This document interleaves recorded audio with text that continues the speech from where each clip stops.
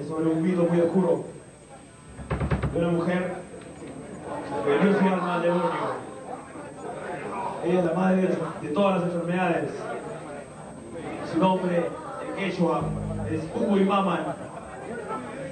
El tema es Ubu Maman, Mother of the Sea.